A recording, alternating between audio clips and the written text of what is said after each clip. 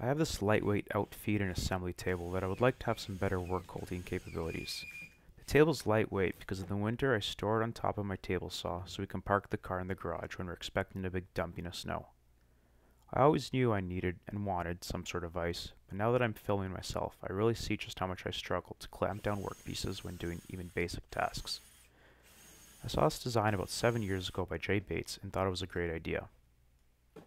I'm beginning by screwing on a scrap piece of 2x10 that I cleaned up with the planer. It's going to give me some additional support and I made sure to screw it into the legs and the existing apron. The table is built with glued half-lap joints with some screws for reinforcement. It's fairly sturdy for a lightweight table that uses an old door as a top. I'm drilling some 1 and 3 16 inch holes to hold the 3 quarter inch pipe, which has an exterior diameter of about 1 inch. The extra space gives you some slop when you need to adjust the pipes or clamp something tapered. I'm also spacing the holes 26 inches apart, center to center, so that I can fit a 24 inch cabinet part in between them. Now, it's just a matter of screwing the support into your bench and drilling the holes the rest of the way through. I'm putting two small holes in the back of the pipe clamps to hold them onto the back of the apron. These screws won't be under any stress, they just hold the clamps in place.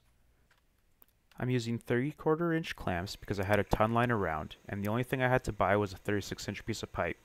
Half inch clamps would work perfectly fine. Now I'm cutting my 36 inch pipe in half and sliding them onto the clamps and then through the holes I just drilled. I used a couple pan head or pocket screws to connect these. If you don't have any pipe clamps kicking around, they aren't very expensive to buy new, or you can usually find tons on the used market for cheap. I'll put a link in the description showing a similar style to what I used. Now that your pipes are set, we can mark the location on our front jaw for the holes.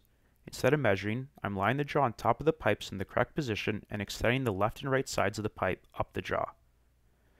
Now hold the jaw in place and eyeball the center of the pipes for the vertical position. I'm holding the jaw just a little high so it actually sits about a quarter inch above the top of the table. Drill the holes and install the jaw. Mark a line on the back side of the jaw and trim the excess off with the tool of your choice. Here you can see that I made a bit of a mistake and put my pipes too low. While the vise still works, if I'm clamping small material near the top of the vise, my jaw ends up more skewed than I would like. I would suggest drilling your pipe holes so the clamp can be as high as possible up the table without it actually protruding past the top of the table. And through some movie magic, you can see my pipes have moved to the correct position. The vise now works as it should.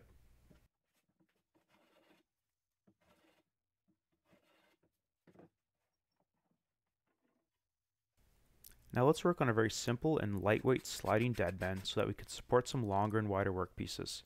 There are many videos on YouTube about a more traditional way to make these, but I'm just rigging something up for this light outfeed table. I've begun by removing my original lower stretcher and installing a couple spacers or support blocks at the bottom of the legs. I've cut a new stretcher out of solid wood that is the same thickness as my leg. With my table saw set at 45 degrees, I'm ripping this angle along both sides of my new stretcher, and leaving just a bit of a flat spot on the top.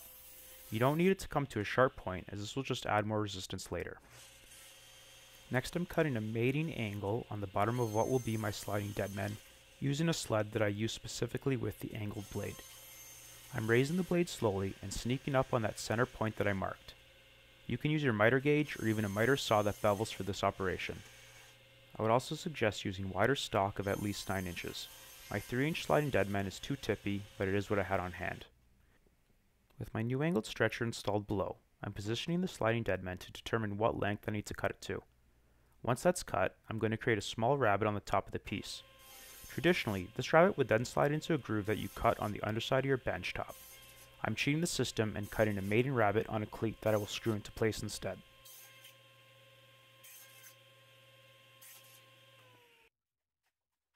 Simply use the rabbet you cut on the sliding deadman to mark where the rabbet should be cut in the cleat that you're going to make.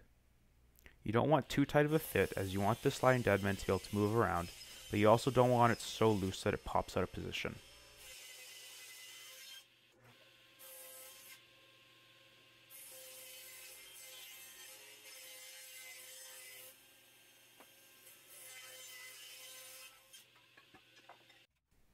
With these parts cut, we can simply screw the first cleat into place on that 2x10 we installed at the beginning of the video. This is the reason we put such a wide board even though we could have gone away with something less deep. You can see that the cleat is positioned with the groove on the back so that the sliding deadman now is locked into place between our angled stretcher and our slot above. With that looking good, I'm going to drill my holes in the sliding deadman. Again, traditionally these holes are 3 quarters of an inch and made to accept a whole host of bench dogs, holdfasts, or other commercially available accessories. I would suggest you drill your holes that size to accommodate any of those items if you want to use them. But I don't own any of those. What I do own is a whole bunch of half inch dowel and on my lightweight bench that is going to work just fine. I've drilled a number of half inch holes down my deadman and I'll show you how those are going to work in a bit. There's one more thing I want to add to this bench. I've marked a line that is directly in line with the top of my pipes. I'm going to set my doweling jig so I can drill half inch holes that also line up with the same line. This honestly doesn't need to be perfect and you could just do this by eye. Again, if you want to use commercially available holdfast or bench dogs, drill 3 quarter inch holes here or whatever size is required for the product that you want to use. You can see I put a couple holes both in between the pipes as well as to the far right side of the pipes. I'll show you how I use these later on.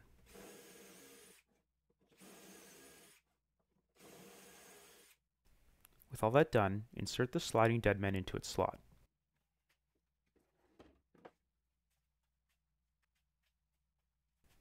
Next, install the second cleat to complete the slot and cap off the sliding rail.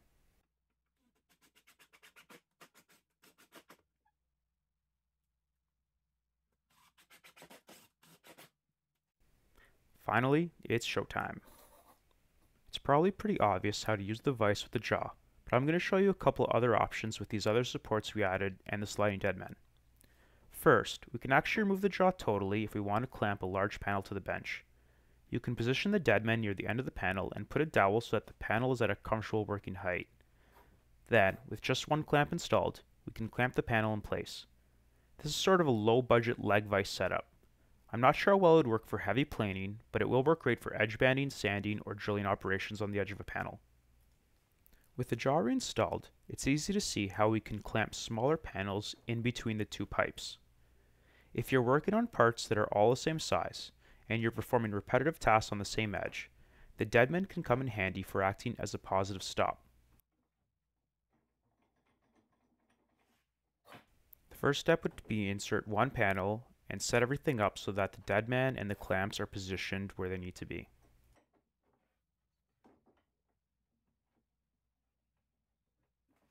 Then, with that set up, it's going to be super easy to remove a panel, install a new one, do your work, remove it, install a new one, do your work, you get it.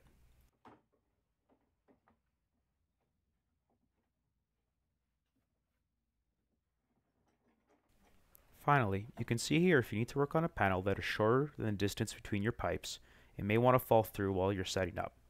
This is where our half inch holes along the top edge come in handy. You can toss a dowel in there and now you have a quick support to hold your workpiece while you tighten up the clamp.